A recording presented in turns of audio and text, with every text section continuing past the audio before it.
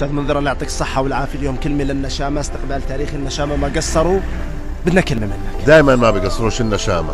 والله يعطيهم الصحة والعافية. والكل عارف على الظلم اللي صار.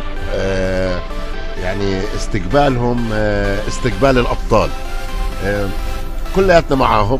وأظن دائما الشخص إذا كان رياضي أو أو بيعمل الشيء لجمهوره. فاحنا مع منتخبنا وهاي الجمهور كلياته جايين نستقبلهم وكأنه نحن اللي أخذنا البطولة والكاس. الله يحميكم والله يعني صارت يعني الخير بالجايات. مع إنه بمسيرة النشامة خلال كأس آسيا؟ يعني إشي إشي بشرف وإشي بيفرح.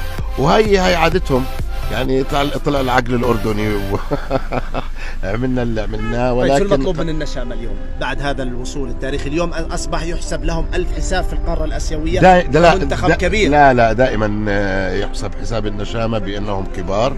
آه، المطلوب منهم الآن آه، يشوفوا هذا الجمهور اللي بيحبهم واللي إحنا كلياتنا معاهم يضلوا بنفس الهمه والعزيمة.